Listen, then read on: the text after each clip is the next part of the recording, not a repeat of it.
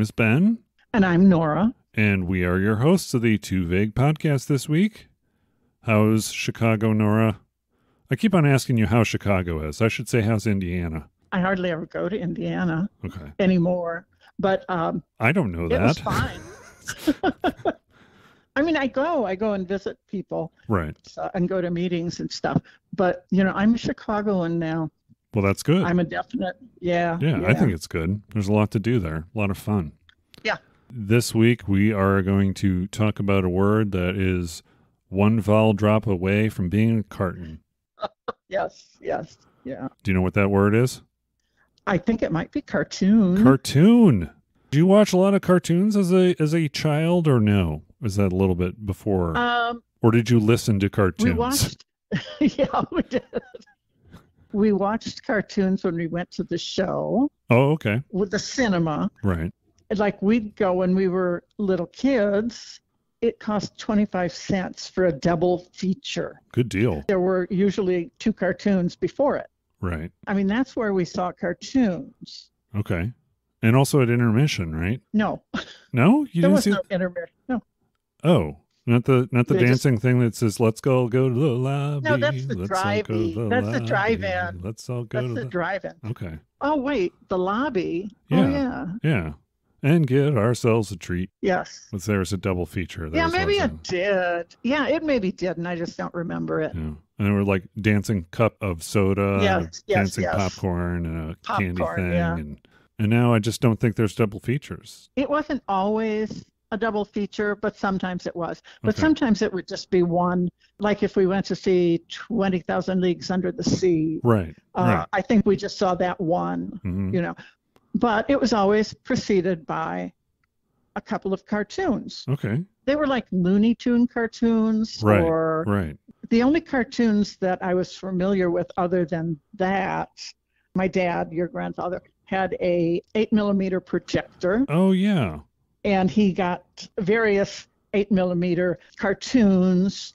hmm My cousin worked at Bell and Howell at the time, Okay. so she got cartoons, Abbott and Costello, you know, little things like that. But we did do, we did see a lot of cartoons Yeah. when he showed them, Yeah. and that, you know, that was okay. Was Um, was one of them Heckle and Jeckle? might have been, Yeah. I don't, I don't remember. Okay. I really, you know, I'm trying to think what it was, but it was mostly like Looney Tune types. Um, Disney, after, the, but that was later. Mhm. Uh, or yeah, we'd see it at the show. We'd see Cinderella, Snow White. Those are old, Right. and so we'd see those at the show, Uh-huh. and they were animated Right. uh, features. Yep. Yep. Yeah. There is some debate as to what a cartoon is and what it isn't. But Ah, I don't know if you did if you found any of that information in your research or not. But no, I No. didn't do research. Yay! yay, I do have an article. yay! How dare at. you? yeah, right. Why did you do research? The one about uh, manga, I'll let you do. Oh, what what do you? Too much Japanese. with manga? The debate is whether or not manga is a cartoon or it's a style of cartoon. Oh, yeah. because it is you refer to manga and is not it's comic book stuff it's comics generally Oh, yeah, yeah, yeah. You're right. You're it's right. not anime anime is the animated portion of it manga is the written stuff it's equivalent to a comic book or a graphic novel Yes. you were reading about that as far as popularity of that getting No. no No, I, I ran an article off. okay I printed it, printed it. again with the running off I know, I know. It's the old teacher thing. Um, did you use hey, yeah, I, made dittos Ditto, yeah. yeah yeah, Yeah. I ran one off on cartoons and one on manga. okay And uh, I read the cartoon one, and I started to read the uh, manga one, and I got bored.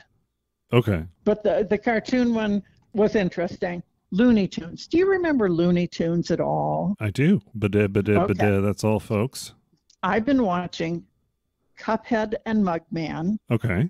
the little 15 minute animated things, Right. and they are doing it just like I think it's Looney Tunes, like Uh-huh. one of the old old one, old cartoons. Okay. Uh, there's so much that is like it, and even when they get into the cartoon, it's like they used to be dancing flowers. Mhm. Not dancing, but bopping up and down. Right. They're doing it after, I think it's Mel Blanc, I think was Looney Tunes. hmm We'll get into this when we uh, get into our video game section, but the brothers actually were influenced by a lot of that early 30s, 40s animation. Yeah. So that's, yeah, that a lot of their It- inspiration definitely. behind this comes from those. Okay. Yeah. You'll have to watch it. It's really, it's really cute. Yeah. And I showed you the game, and is it the same as the game style wise, or is it a little bit more polished? It's a little bit more cartoonish. I don't know how to explain it. Okay. Um, like I can't. Was that Cuphead that you showed me? I forgot. Yeah. Yeah. I showed you the Cuphead one. this morning. Yeah, that in the thing, their eyes would bulge. Uh huh. Milk would go. They have milk in their cups. I don't know if you know that. I had no idea. Yeah. milk would go da- down below, and their eyeballs would get clear. Yeah. Uh, you know, things like cartoon things. You know. All these toon tropes, right? Yes. Yeah. Yes. Yes. Like when you take a bicycle pump and you put it in someone's ear or mouth or whatever, and then you pump up the bicycle pump and then you turn it into a balloon and then you stick it with a pin Yes, and right, you- right, yeah, right. like all that kind of stuff. Right. Is it? Or is you it- let go of it and it flies around. Yeah. right. Yeah. Yeah. Raspberry, raspberry, raspberry, raspberry. Yep. Yep. Yep. So anyway, you need to watch it. It's fun. Yeah, I'll, I'll check it out. It's cute. Yeah. We talked about Way of the House Husband on a previous show. Yes. What did you think of that in comparison as far as lengthwise? Each one of these episodes of Cuphead you said is about 15 minutes. Yeah. Give or take. Okay. And there how many? 10 of them or I don't know. Uh, there's more than 10 Mhm. in one season, but there's two seasons out. Oh, okay. I think there's two seasons. Yeah. But, you know, I got down to the bottom where it says 10, and then there was that little arrow said, you know, like you press it and more come up, but I didn't go to see how many. Gotcha. There's plenty of them. Yeah. I'll check it out. Yeah. Way of the House Husband. It is based off Yeah. a, a manga. It does have very short, like a couple of minutes. Hmm Uh, Yeah, and then they switch to another. Like very little shorts, right? I like it. It's funny. It is funny. Did you? wa- I mean, how much of it have you watched? Oh, I watched the whole thing. I binge it. Okay. I was uh, amused at uh, Gin. Is it the little kitty? Yeah, the kid, the the poop thing. That thing. Yes. That's- that's- That was so funny. Yep, And it was short. It was. Yeah. A, it was a. You know. it was very much a cat right there. yeah. Yeah, the whole thing is just really novel in its approach to, you know, it's a novel concept. Yeah. But you get what I said about like it being a one trick pony. There's just so many situations you can put him in that he's acting like he's still right. yeah. Right. Right. That are going to be. It's funny. It doesn't take too long to to watch them, but you watch cartoons before movies. Were there any trailers back then, or did they just replace cartoons at the beginning of the movie with trailers? The trailers came, if I remember correctly, they came at the end of the movie. Oh, okay. Uh, and it's basically it's coming next week and they it was a very short compared to what they have now Yeah. maybe they showed them before but it seems to me it was near the end Probably less credits back in those days. You, definitely know, you got at least five minutes of credits you got to wait right for. right. Especially if you want to see the secret hidden scene at the end of the movie. Ooh, which is yes yeah right the amusing little bits throughout the credits too Yeah. Some of them have credits that are unique little bits. right uh, Sometimes, if they have little bits like that, they'll separate them. They'll just do like a main credits thing with the little Oh, funny yeah, little and then- bits, and then they go into like who the gaffers and the best boys and the right you know all those people are. hmm hmm I was wondering just because trailers are such an antiquated concept these days in a time where Yeah. we have our phones. So right Right. um everybody's it's connected to everything yeah, what's what's the point in putting them there?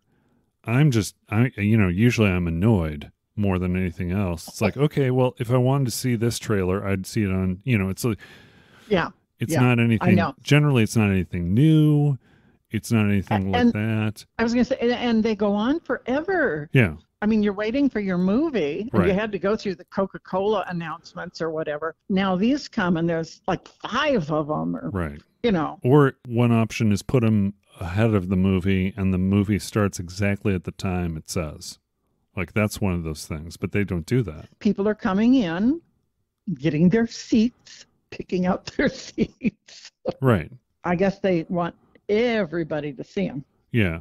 They want everyone to So- see them and then they also want them to see them like a movie instead of like Right. my theaters they have little little slide projector things where they can project things on top Mhm. of a of the screen beforehand and it has trivia and whatnot Oh yeah, Yeah. yeah. I've and, seen that and you too. could you could do that you know you can do that in in part of the you, you wouldn't have to have it in full screen mode you know just because it's like i don't know It- yeah. to me it's really Yeah. annoying to sit through and you know you Yes. can't really accurately determine how many how many minutes you can be Yeah. late because Right. sometimes you got three sometimes you got five i mean it's yeah. just like yeah. it's crazy if you want to incentivize people watching the trailers you can say watch this trailer and then at the end you'll get a secret code or whatever and then if you use this code you get 25 cents off and you could have an algorithm like generate a unique code for each viewing or whatever I don't know about that. i'm just saying you know if it's like you can incentivize watching trailers in a different way why do it you know Right. in, right. the Right. theater i mean you know But there's mm. there's different audiences, you know, for different movies, yeah and they true. need uh, they need to know the audience, just like uh, sampling needs to know the population. right So you don't want to show an r-rated trailer to a g-rated right, audience right. Right. did they have ratings back in your day They uh, came about uh, maybe when I was like high school, college. oh okay so so it they was did something not have them at first. was there a big outcry from parents is that the reason why or did it just happen I'm not sure. The the one thing that they did have, uh, which a whole bunch of us didn't pay any attention to, was the Catholic something or other rated films. And so Catholic kids always had a rating. okay Watch it, don't watch it. I think that was it. oh And it was so that we had a little bit more information than that. But yeah, I don't know how it came about. introduced in 1968 Okay, college. following Hays Code of Classic Hollywood Cinema era. The MPA rating system, one of various motion picture rating systems that were used to help parents decide which films were appropriate. I, I'm sure I could do A deep search, some research. Yeah, but don't. not right now. Not now. Oh, okay. now.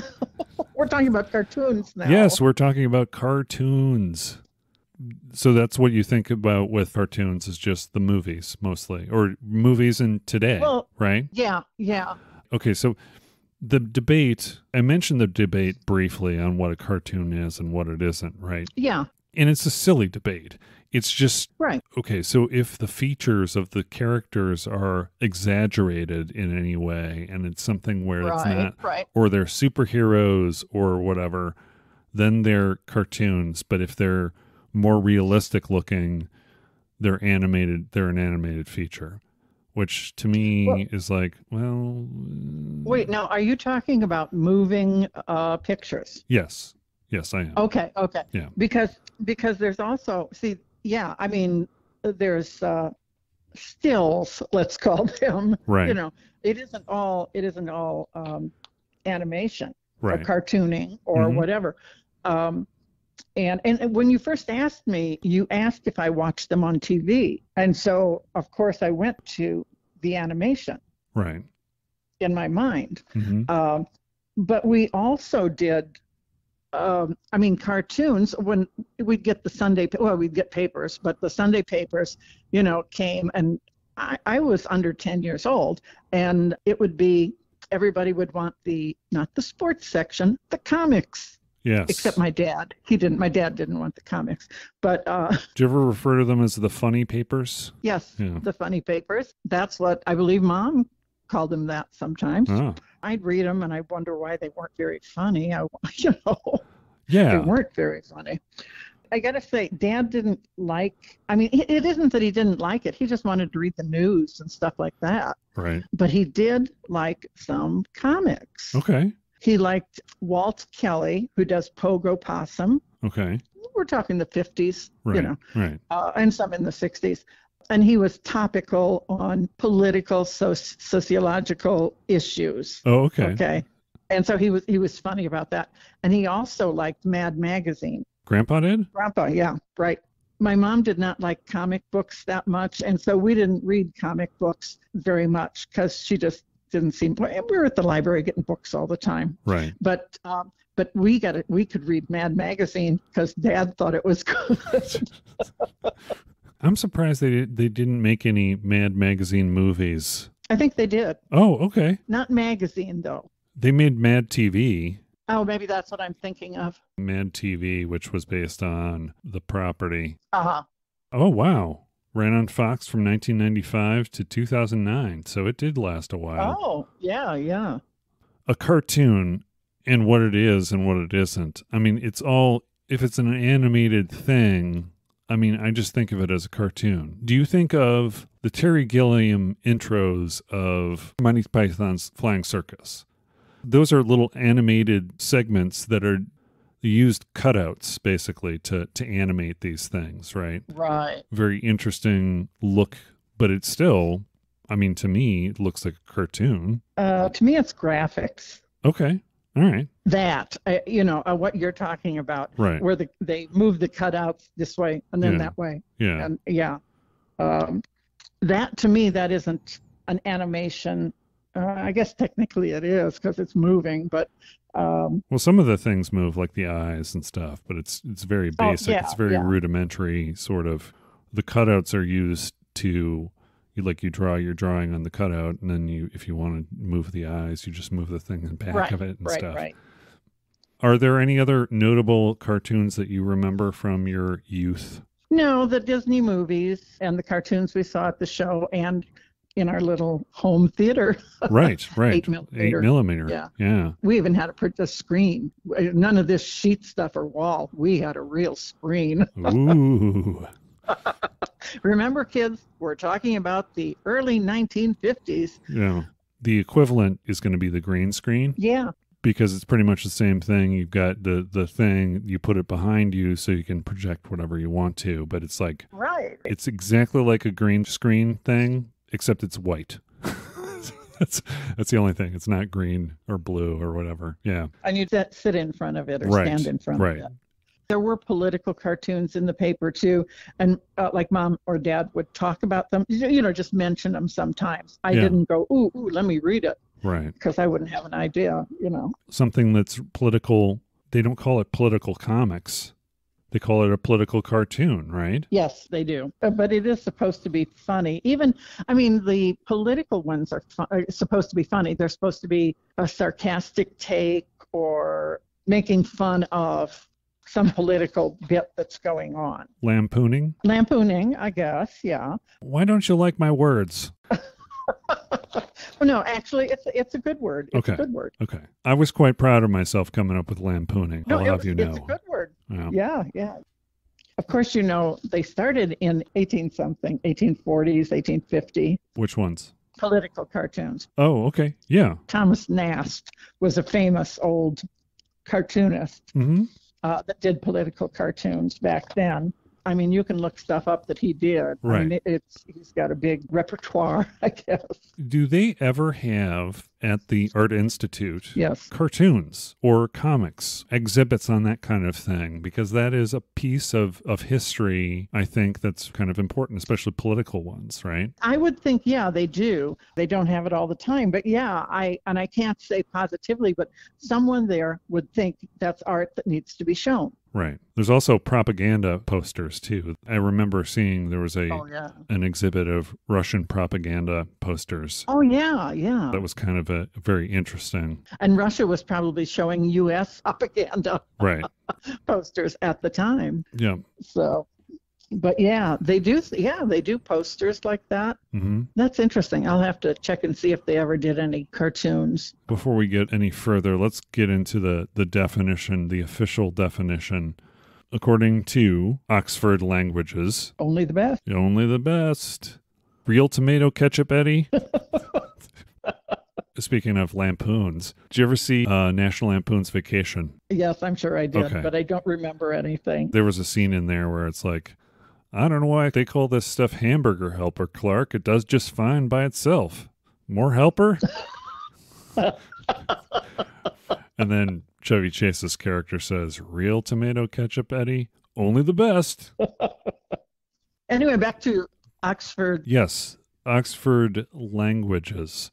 Noun, it's a simple drawing showing the features of its subjects in humorously exaggerated ways, especially mm-hmm. satirical in newspapers or magazines. They also say a comic strip, which is a cartoon strip. They can be called a cartoon, a simplified or exaggerated version or interpretation of something. So I guess like that thing is a cartoon of whatever. Then you have motion picture using animation techniques to photograph a sequence of drawings rather than real people or objects. Full size drawing made by an artist, preliminary design for painting or other works of art. That just, just seems like sketches. I was reading where it was used in Italy by the masters. They'd make what they called a cartoon, Yes, you're and right. they gave it to part of their acolytes. I don't know. Now that you mention it, in this definition, they say tapestries are based on a set of cartoons commissioned by Pope Leo the Eleventh. Yeah. Da Vinci used cartoons, and they said some people you can they they'd make pinpricks in them Uh huh. to kind of mark where they were going to. I mean, they'd put the cartoon up to whatever they were drawing on, Right. and they'd put pinpricks in them to kind of give you something to trace, I guess, Yeah. on the canvas or board or whatever they were Yeah. working on. Yeah. That makes sense. So so anyway, yeah. yeah, yeah. So that would be pinpricks in the canvas itself? I think so. I'm Okay. not positive about that. Okay. I would have to ask somebody at the Art Institute, I You guess. said Da Vinci. he was one of them. You weren't close friends with Da Vinci? Yeah, yeah. Leo, Leo. Me and Leo go way back. Leo. Yo, Leo, give me a painting. Oh, Raphael. Yeah. Oh, he was another one. And, and Leo. Oh, right. Yeah. Right. We're not talking about the Teenage Mutant Ninja Turtles because they were No, all named no. after No, I know. Leo was No, one of them, not. and Raphael was one of them. Um, but anyway, and also one more thing uh, on the word front with this is a verb, Ah. verb cartoon, making a drawing of someone in simplified or exaggerated way, so she has the face with enough character to be cartooned. I don't know. That's just kind of making a noun into a a verb, Yeah, I I guess. think- yeah. I agree. Well, I guess it's like a caricature. Yes. Yeah. know, perhaps. Yeah. That's are- that. I would call it a caricature. Even though you could say, I'm characterizing this person, it's much easier to say, I'm drawing a caricature of you. I would agree with that. Yeah, Oxford, get your story straight. Now, this is interesting. Origin of cartoon. Late 16th century, from Italian cartone, from Latin of carta, and then English, it's card. So between card and cartone, cantone Ah, is cartoon, which is when it with the late the late century, but it came from Latin and Italian and combined with English. So since I love the Ngram viewer so much, yes. if you look at the Ngram of cartoon, just pretty much one noun, one definition, right? Yeah. Starts out very low in the 1800s in print, and then Yeah. it grows by probably about 10 times its original, which makes sense too, as as things in animation Technology. got more and more complex. Yeah, technology. Yeah. And before I tell you some mm-hmm. origin of cartoon stuff, do you have anything to add as far as definitions? Not really. Okay. I'm looking at the papers I didn't study. You know, while you're looking at those papers, you were talking about comics not being funny, the funny papers. Oh, yeah. The first thing that came to mind was Family Circus. Yes.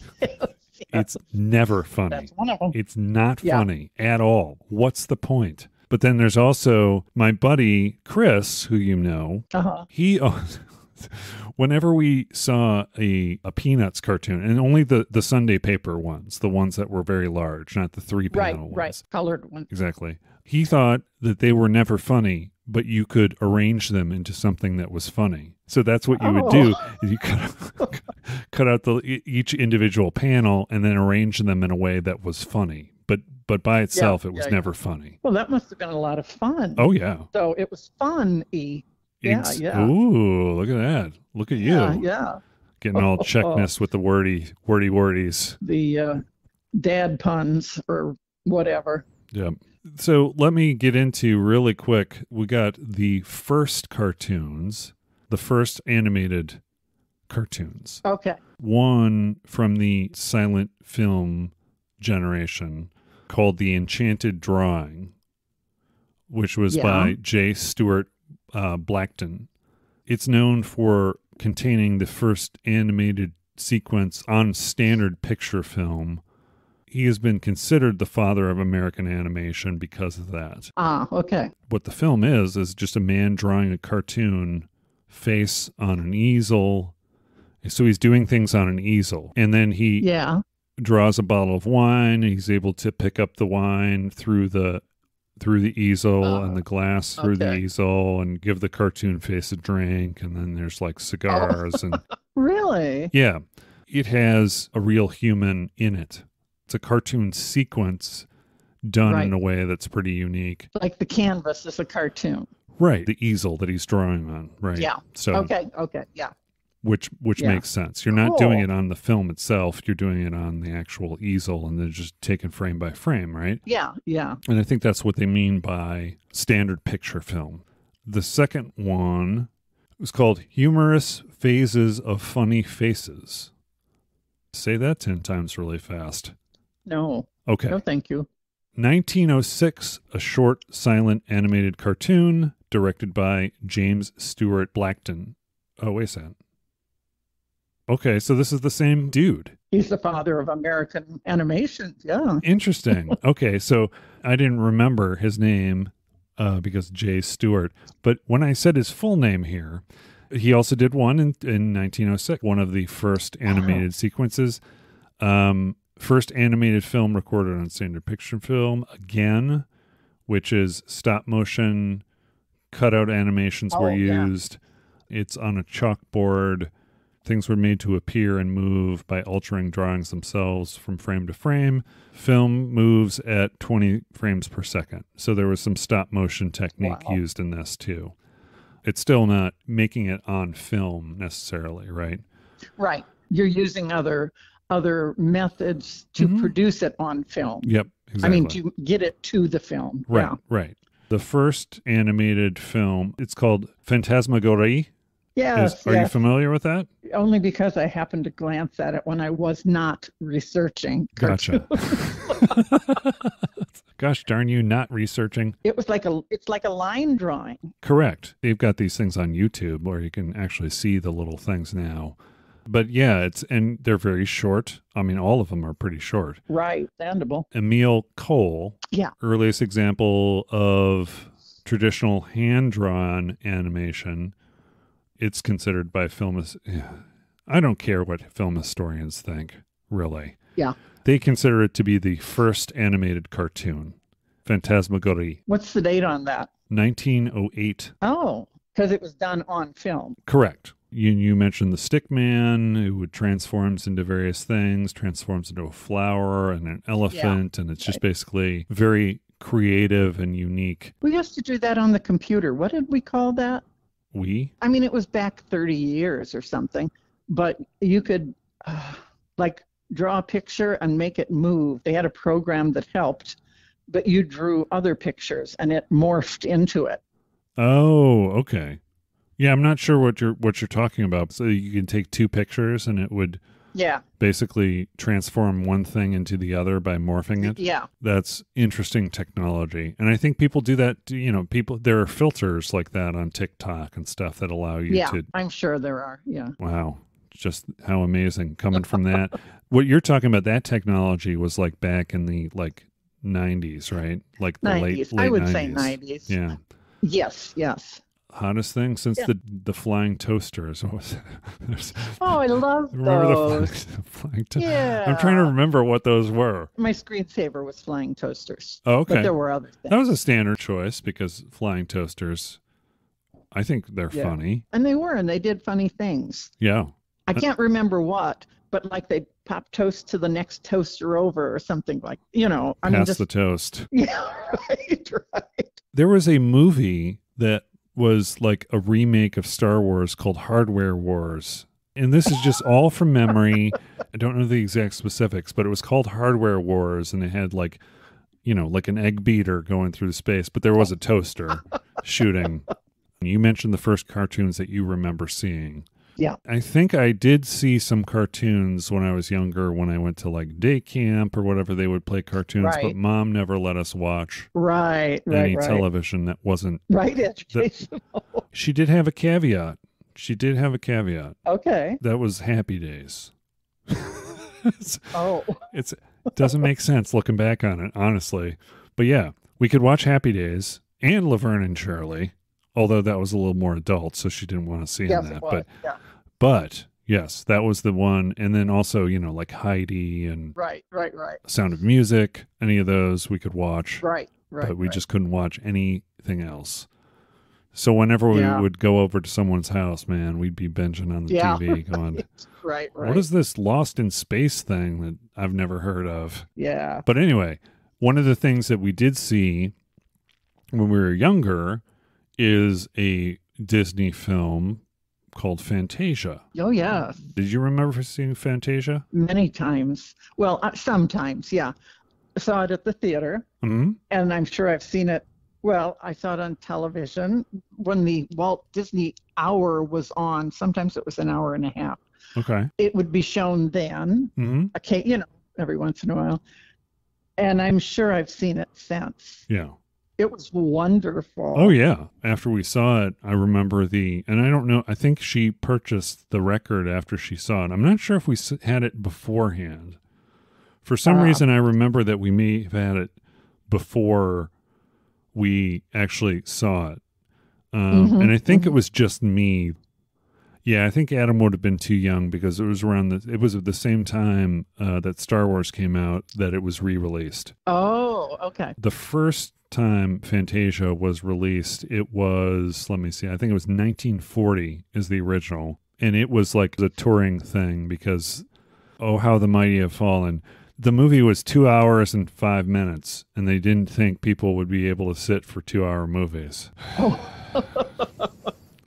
Yep. I am one of those people, by the way.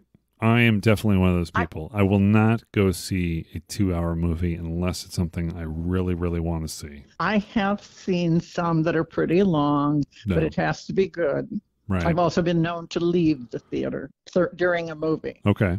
When it came out, there were road shows uh, with Fantasound. They would go from town to town. I'm guessing you probably didn't see that. You probably saw. My guess is you saw it. Saw the 1963 one. 55. Probably closer to that. It was when I was a kid, Oh, okay. and when I was in high school, I wasn't a kid, Gotcha. and so 1955. That's about right. Yeah? Yeah. possibly even earlier release. The release before that was 46. Well, that's possible that we saw it like in the uh, very early 50s, Yeah. Uh, when I would have been five or six, Okay. uh, at, at the movie at the movie theater, and that's before 55. Gotcha. So It was also re released in 1969. And that is when they finally made back their budget. So the budget that they spent on the whole movie. But I don't think that was the point. That th- that was the point for Disney. I don't think that was it. It was just kind of a spectacle and having the the soundtrack was amazing and all the different shorts were really awesome. yeah. Did you have a favorite short? Do you remember? Well, I just I always remember the Sorcerer's Apprentice. Oh, okay. I mean, there's other things too, but that's what I always remember. And bunches of brooms. Oh, yeah, there were other things. There were what was it, hippopotamus ballerinas? Is that oh what they yeah. were? Was that Dance of the Hours? That could be. I don't know. Animals performing ballet sequences. So yeah, that was it. Dance of Hours was that one. Okay. The one I really liked, surprise, surprise, was the dinosaurs one. Even though it was a little scary, Rite of Ah. Spring was pretty impressive looking. I'd have to refresh my uh, memory on it. Yeah. There was an interesting thing about that 1969 release that I didn't say. Yeah. So it is notable because they removed a sequence that was racist. Okay, so Oh. here's some facts on the 1969 release. Yeah. It was promoted with a psychedelic style advertising campaign because late 60s, early 70s.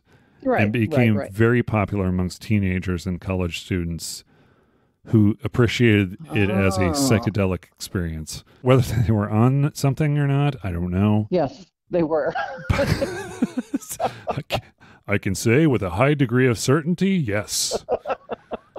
I mean, I could just see that being, you know, something that would happen. Yeah. Oh yeah. I yeah. didn't do it. Kind of like but- kind of like uh, the movie The Wall when that uh, you know like all the Oh Yeah. yeah. pot smoking folks were kind of Right. like that's really trippy, dude.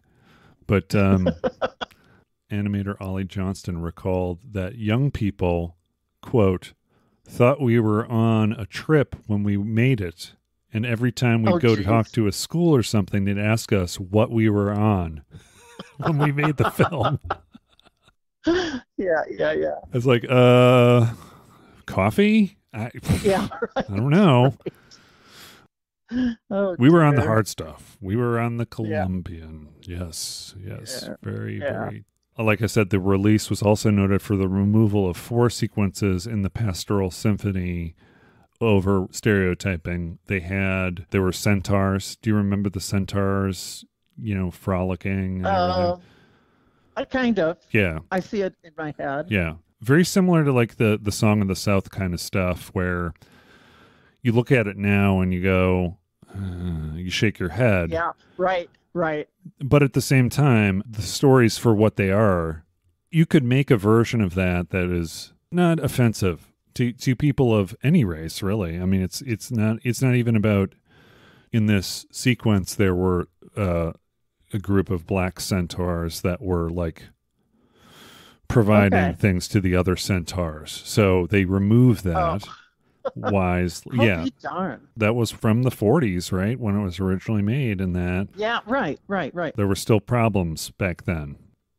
I remember seeing it in the theater. I remember loving it when I was little, hmm although not as much as Star Wars, but you know, they came out they came out on the same year for me, Huh. 1977. Yeah. And I'm pretty sure I saw them over the summer, both of those. Those are both very kind of impressionable movies that leave kind of a mark on, on me from my childhood that I really enjoyed Right. they made a, a new one which i didn't see because i just didn't want to spoil it there's Yeah. a fantasia i think it was like fantasia 2000 or something Sounds familiar, but yeah I haven't seen it. I mean, if I could, I might see it and go, "Well, this is ridiculous. This isn't at all like it really was." You know? oh well here's an interesting thing too we're going to be going into video games pretty quickly so i guess it's appropriate that i mention this as it relates to fantasia but atari released a game called sorcerer's apprentice on the atari 2600 based on fantasia where mickey hmm. mouse is collecting falling stars and comets and preventing the brooms from flooding yen sid's Wow. cavern i would never name my firstborn son yen sid But so here's where I also remember a lot of the stuff that the Sorcerer's Apprentice sort of things. There was a game called Kingdom Hearts, okay. and Kingdom Hearts was something that Disney and Square Enix partnered up. Square Enix is a company that makes a lot of JRPGs. They're a Japanese entertainment conglomerate. They're responsible for Final Fantasy. Okay. Kingdom Hearts is one of those games that Disney and Square Enix came together and they have characters that look like they're Final Fantasy characters and there's a story involving Mickey, Goofy and Donald and they go to different movies essentially as Oh. as levels I remember playing the first one on the PlayStation 2, and it was really a lot of fun. Yeah. But since then, it's become something crazy where they have 15, 16 different games. They all take place in different time, like different sequences. It can get kind of confusing when you play Kingdom Hearts 358 over 2 days. That's that's the Oh. name of the Kingdom Hearts game. Okay. Kingdom Hearts 358 over 2 days Okay. Like the fraction.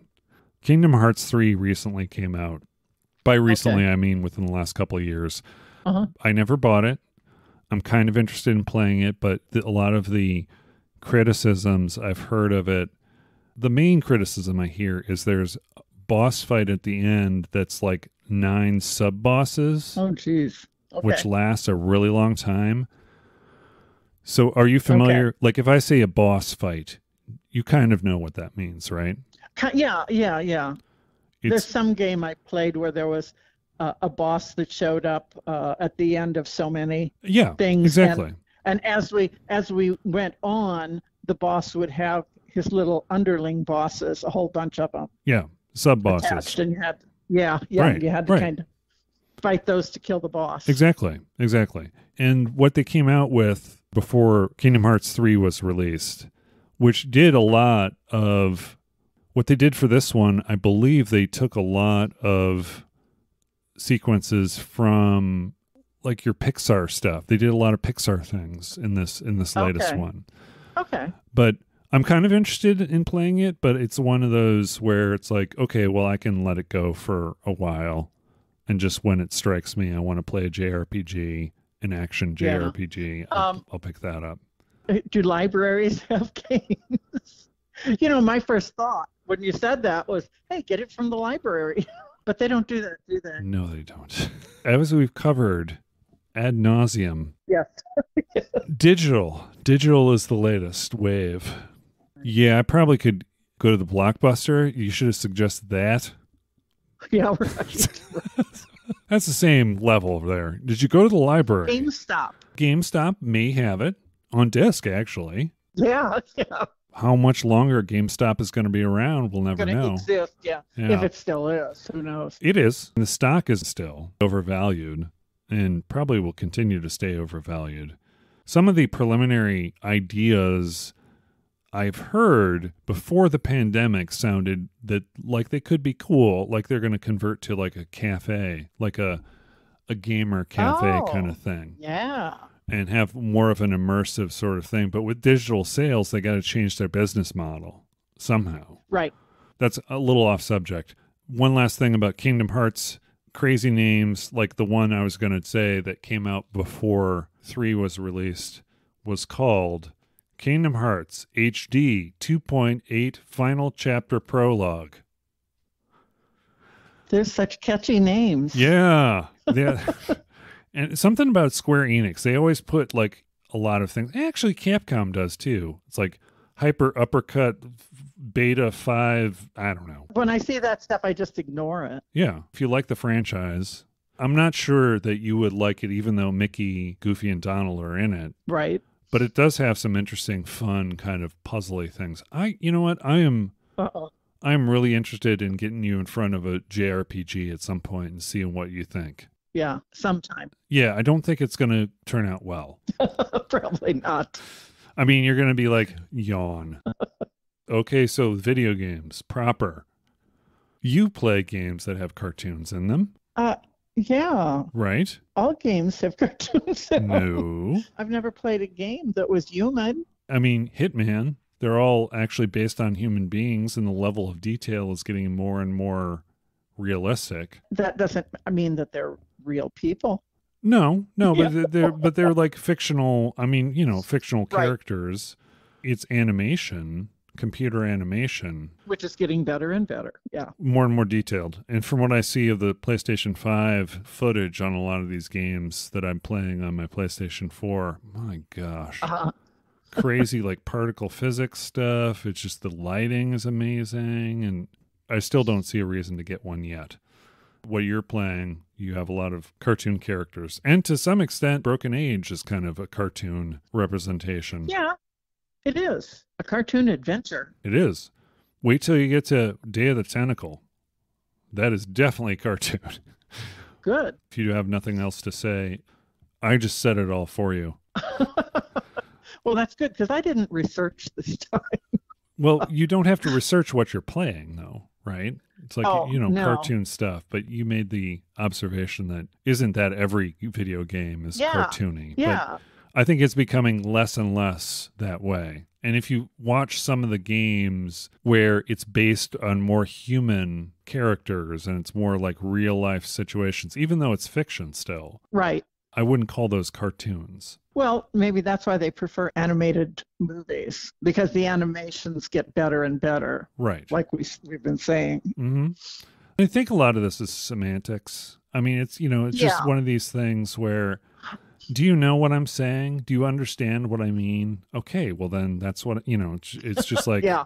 so we could, Call it whatever you want. A rose is a rose. by any other name, it's a cartoon. I wanted to talk about a game that is a fighting game. Are you familiar with the concept of fighting games? Well, it's where where you're fighting something Well, and something's fighting you back. no, if we're talking a fighting game, we're talking like Mortal Kombat. Like that game where you, one person plays one character, another person plays another character. it's Oh, controlled by okay, AI. It's two dimensional, side scrolling kind of Oh, thing. okay. Usually it's in an arena, which has got walls on the, you know, you've got um, a segment that it's contained. It's two dimensional, right? Okay. So you can only walk back so far. Yeah. This 2D indie fighting game developed by a company called Mane Six and published by Maximum Games. Them's Fightin' Herds. Them's fighting herds. Okay. And it is a game that is made of all sorts of hooved animals. yeah. What do you call those? Undulates? Is it Is ungulates? that what they are? Yeah, I believe it is. Yes. All female, too. All female ungulate characters Oh. in this game. Oh. it makes sense that they're all female characters because the development of this game started as in the beginning there was My Little Pony. Oh, kiddo. And that was something that was a toy and cartoons I believe came after that. Right. And then that went away briefly, but then they came back. My Little Pony Friendship is Magic. This animator who basically created the series and the characters, uh, her name was uh, Lauren Faust, and she came up with this. And Friendship is Magic is still pretty popular amongst little girls, I think. It's a kids' show, but for some reason, it also hit with boys aged 15 through 35. I didn't know there was a demographic like that. There is. They're called bronies. Yes. I, I don't think there's anything sexual about it. I just think that they are just No. really big fans of it. And maybe, you know, furries where you've got your various degrees of of what, you know, is it sexual, is it not? Right. Oh, yeah. I never thought of that. To me, it was just males that liked uh, the little ponies, the what, whatever you call them. Oh, that's exactly what it is. You're right. yeah. Forget all of that I said before it. But anyway, so this group of 15 to 35 year olds, you know, they had their boards because they were fans of the, you know, like any other fictional series, like people who are fans of Twilight, they had their own chat boards. Oh, yeah. Yeah. Yeah. So they could all gather and talk about what they loved. And for them, it was this uh, My Little Pony Friendship is Magic cartoon. On one of the boards, there was a discussion, a hypothetical discussion uh, revolving around Marvel versus Capcom, Okay. which was a, a fighting franchise. Okay. They were discussing which one of the characters would match up Oh. which pony character would match up with which character in Marvel versus Capcom. Yeah. And there were drawings that were done by this guy, Anukan, and had some discussions online about this. Yeah. Yeah. Then it just grew and grew. And so this group that eventually formed Mane Six through this chat board, decided Uh-huh. that they were going to go ahead and they were going to make Oh, a Okay. fighting game based on the My Little Pony series. Friendship is Magic. wow. So they got a software package called Fighter Maker 2D. It was a like an engine. Okay. They didn't have any kind of prior experience with any software that was game based. So they kind of started at that level and tried to create the different characters. And what they ended up doing was they put it out to the community and have them beta test it for them Yeah. as they were learning this more and more, they got more and more advanced with the game and it got more and more, you know, enjoyable. It was recognized by the Evolution Championship Series, one of the it's basically a fight game championship. Okay. Back in the day it was mostly arcade games that, you know, you had your fighting champions uh Yeah. fighting on. But then it kind of came into where you would have it on computer hardware they were considered part of the indie fighting games for Oh, the okay. series as far as they were one of the 17 nominees for player's choice slot in the competition. Yeah. they continued to work on it because people enjoyed the fighting. It was a little it was different. The characters were more horizontal than you know up upright and standing. Yeah. so it was a different way of fighting that you had to consider and it was unique. Hmm. so they continued to work on it. They didn't receive a cease and desist notice until february of 2013 from hasbro Hasbro had been Oh. very tolerant of the bronies and all the different fan art and things, thinking that it was just part of the promotion, right? It's, you know, like Right, people who are right. fans, they're going to do, we, we're not going to crack down on any of this. But for some reason, they took exception to this fighting game. They were going to make money on it. That was the thing. Hasbro didn't want anybody to make money Yeah. off of their brand. Yeah. Here's the thing they probably wouldn't have made as much money as they've made now. Yeah. Right. the other thing too is I would rather play a wholly unique property based on new characters than I mean, you know, there's some fans that'll play it, but I think it Yeah. appeals to the same audience, right? You still have the various different undulate characters. Yes. Yes. Yes. Are they called Band of Bronies? No, they're not the band Like of Band of Brothers? yeah. Band of Brothers movie. Okay. Never mind. That was one of the considerations for the company, but they called it Mane Six instead. I, I don't know. That probably Okay. wasn't. Band of Bronies. Once they received this cease and desist letter, they'd worked on this so hard. There were some people who left the group. They sought legal advice to see if they could come up with some Uh-huh. agreement with Hasbro. They started toying with the idea of starting these new assets and new new characters, right? Right. Right. the mane six abided by the cease and desist. But Yeah. fans on the board, Ah. even though they took down all of the assets and everything, they had versions that had the code. So they actually completed they they actually came up with a completed game on February 28th, 2014, a fandom news site Equestria Daily. Ah. Okay. Okay. Duh. Of course. Yeah, of course, it's the Equestria Daily. Announced the release of a finished version of the game using a combination of the team's unfinished build and fan made stuff. Yeah. And so they called it the Fighting is Magic Tribute Edition. It was free, Wow. it was something that they offered to everyone. In spite of what they did, Mane Six can't be faulted for other people taking their work, Right. right? Right. And doing whatever. Yeah, Right. exactly. Even though they've abided by the cease and desist ever since. The mane six came to the conclusion that there was no legal option for them to pursue. They couldn't reach an agreement with Hasbro. Yeah.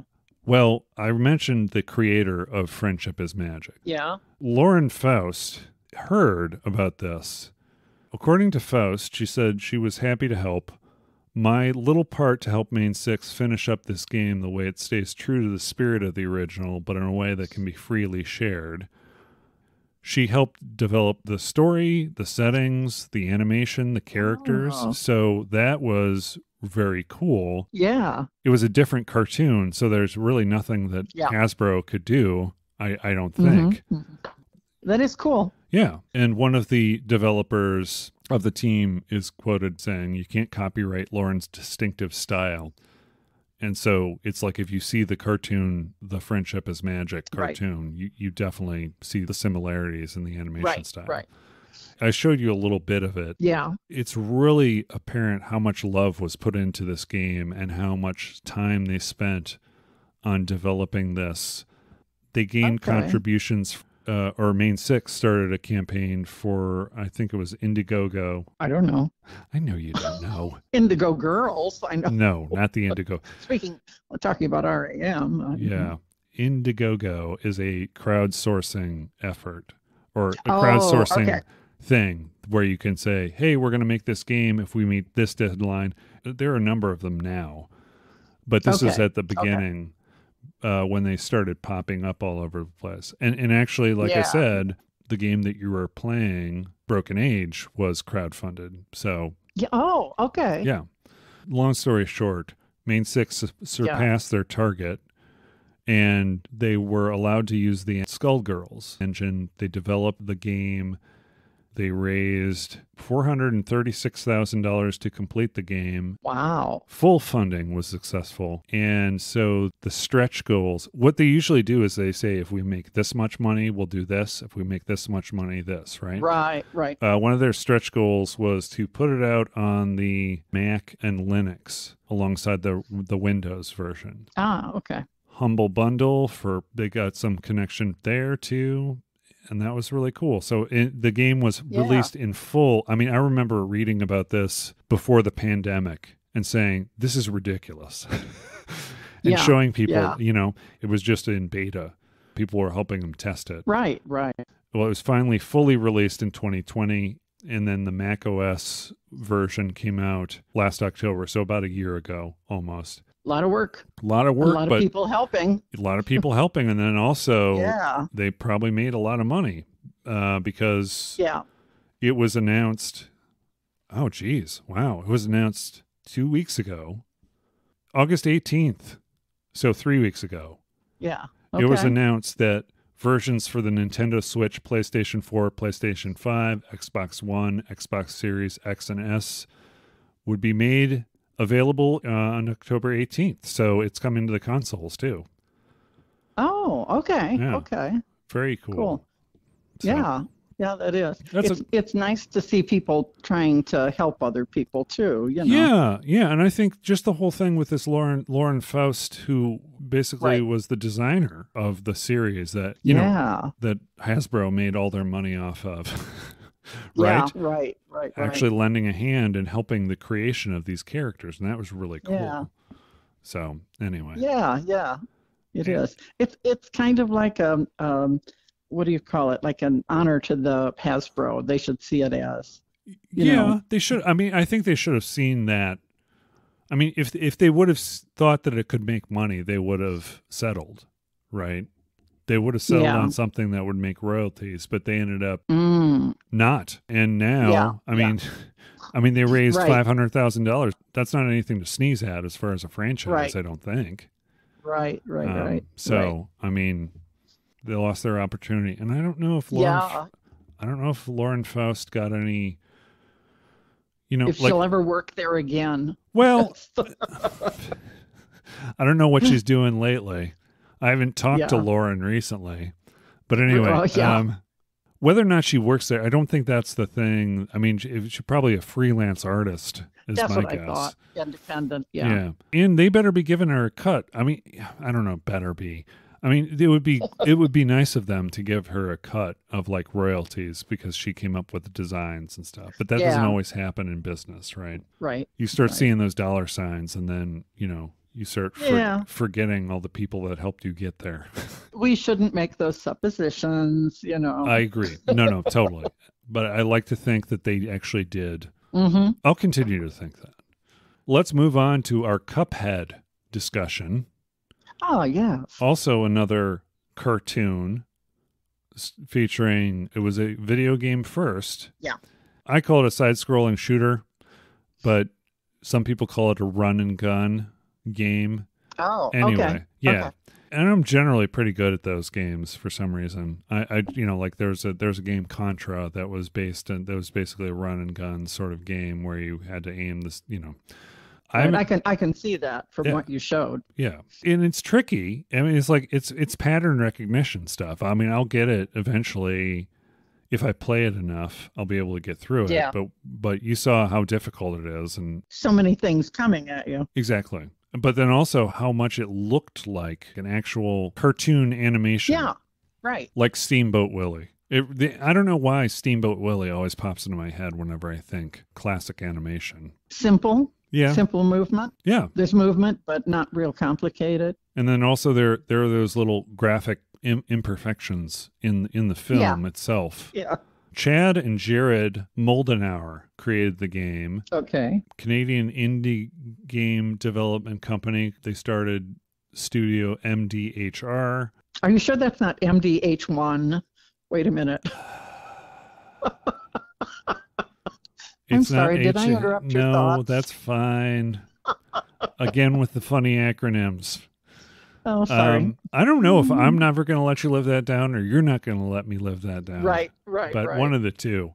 But it's no, it's Okay. not MDHM1 F whatever. um, the Moldenhauer brothers, they enjoyed the aesthetics of those types of cartoons and yes, obvious. and also the ja- the jazz, the music, the accompanying Yes. music is also very impressive as far as type of music you would find in those old cartoons. Yes. So all the game assets, everything as far as the animation, all hand drawn, deliberate Okay. human imperfections Wow. to make it seem more realistic like an old Yeah. cartoon. The soundtrack was written and recorded by a full jazz ensemble that did all, uh, I think there are 51 different tracks on this game. Wow. They started developing the game in 2010 and they had their first preview event at E3 in 2014. The game was released as an exclusive for Microsoft Windows and Xbox One Uh huh. in 2017. I remember seeing it and going, "Oh wow, that's so awesome. Too bad I don't have a an Xbox, right?" Yeah. Yeah. But then usually with something like that, you wait long enough, they'll come out with a version for the system that you want. So they eventually came out with a version for the PlayStation 4 and also for the Mac.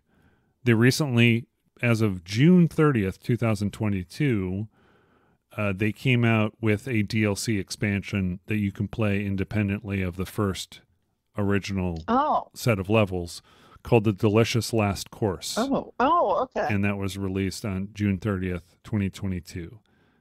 Also, of course, the Netflix animated series debuted February 2022. okay. You said you recently saw the series, right? I've seen like five episodes, something Okay. like that. I, you know, when you called earlier today, I was watching it. Oh, I'm sorry. I like it. It's funny. Yeah. It's just so much like the old cartoons. It's just, and music, they have lots of music that you will love. Yeah. If you like the music from the game, you know, the effort they put into it. Yeah. I think you got to watch it. Is there in the game, is there an elder kettle? Yeah, there is the elder kettle. yeah.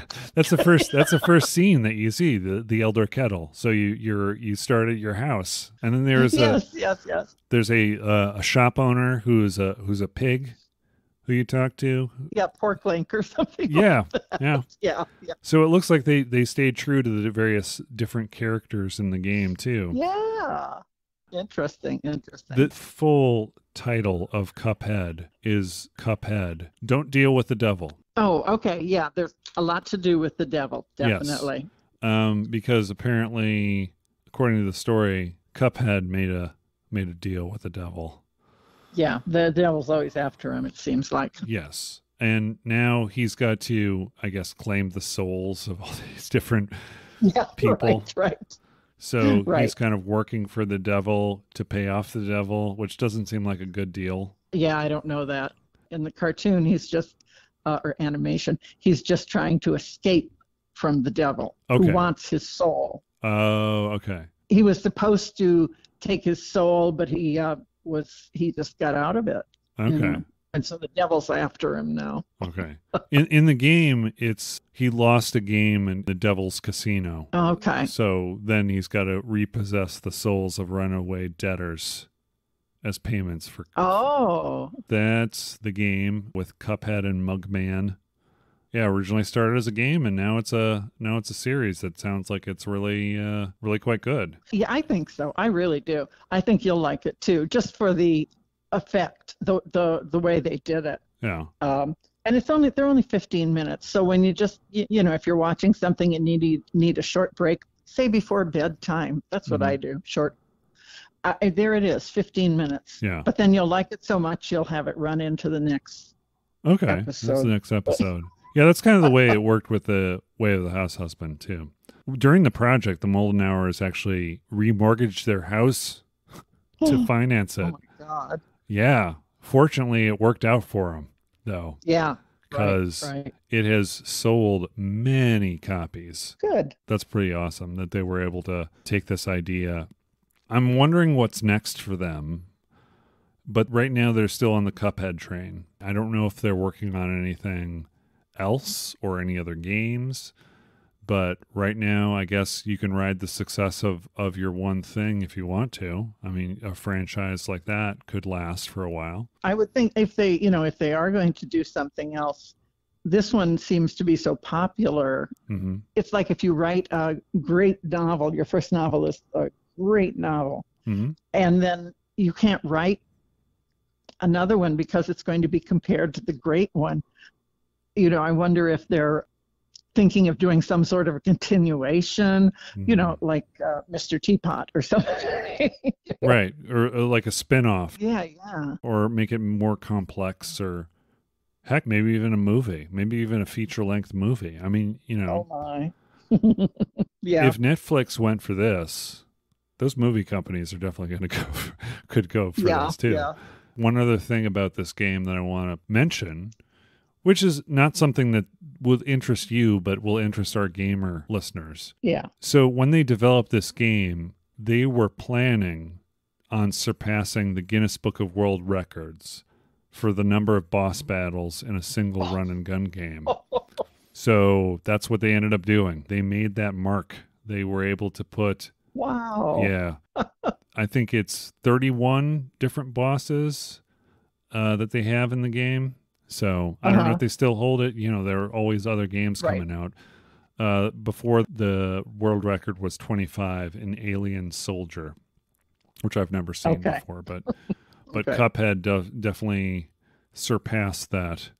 31 boss fights in total, with 17 being debtors, 7 being DLC bosses, Uh, five being King's Leap bosses, and two being King Dice and the Devil. Yeah. So, King Dice is in the cartoons too. oh yeah.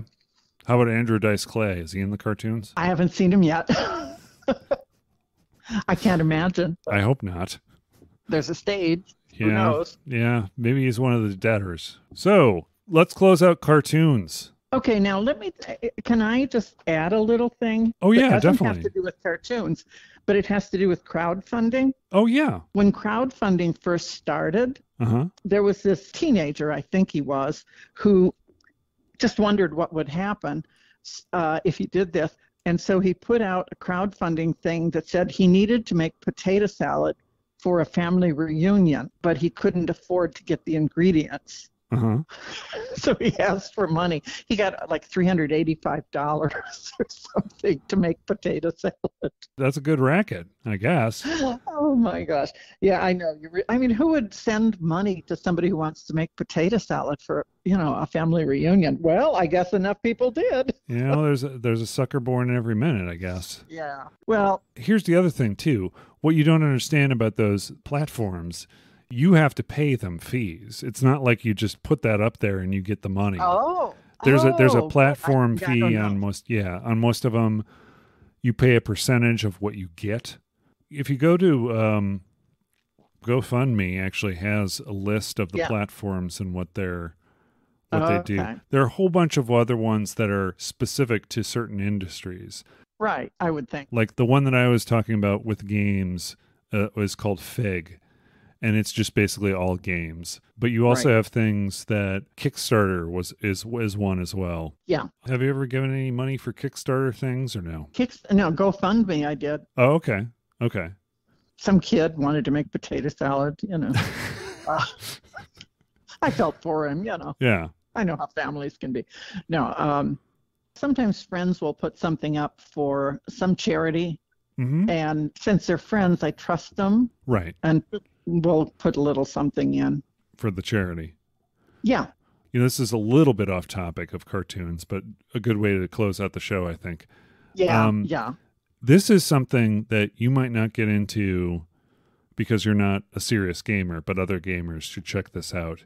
There is a company called Humble. They have the Humble bundle. They're a publisher. What they do is partner with game companies Okay. And you know like games that are older right that pretty much run their course Yeah. uh, as far as sales or whatever Right. well they offer them on their website as a digital storefront and what you do is you pay for a, it's a donation so they give you like a really Oh. reasonable price like a dollar per game Yeah. Yeah. some of these bundles have 16 games in them or more Yeah. I actually bought the full catalog of available games that are on my computer that are like, you know, you I don't know if you you noticed my Steam launcher, but it has No. Broken Age, it has Full Throttle, Oh. it has Grim Fandango, and it has Day of the Tentacle Okay. right there. I think I paid fifteen dollars for that and Psychonauts and uh, Oh. Brutal Legend all on my Mac, along with a whole bunch of other things. So it's what they do is they raise money and they only give you a limited amount of time. It's usually like two weeks for the donation Yeah. before the timer runs out. So I check it every Oh. once in a while, but they all go to charities, like really great charities. Oh, so it's yeah, it's a great thing. It's a great cause too. Well, actually, we can get into this later, but it's they work with AAA publishers. You can get a lot of really great deals on games. Think of it as like buying used games, except you buy right. the digital licenses for a whole pack of games, and you can give as much or as little as you want. They usually have a ceiling. Like I said, Right. it varies, but usually it's about a dollar per game. That's the that's Hmm. the minimum. If you get twelve games, twelve dollars. You can do more if you feel. Correct. Uh, yeah. Yep. They're starting to experiment with some with us. They're giving you some like better games if you're like a member of the club where you pay a monthly service kind of thing. But Oh, yeah. but as far yeah. as the original concept, I mean, I like the original concept better. And they also have a publishing wing that publishes a lot of independent sort of games as well. Oh. So yeah. it's yeah. very cool. So all you kids out there, you want to get bargain basement games, Be humble. check out Yeah. Humble Bundles website. Yeah. Wonderful. Donate all of your money in cartoons. I, I don't know. I don't Oh, know how. donate. Donate. I thought you said don't eat. Yeah, was don't eat it. You're talking, you're talking to the wrong person. No, no. Don't donate. sorry. Donate. Uh, but anyway, From the Latin, dona. Yes. Okay. from donuts. Donate. we'll do a show on donuts later. Okay. Thank you very much, Norah, for joining me on this week's episode. I appreciate you being here. And I thought it was great fun. It was funny, like cartoons. Exactly. Um, and I, I appreciate your uh, talking about cartoons.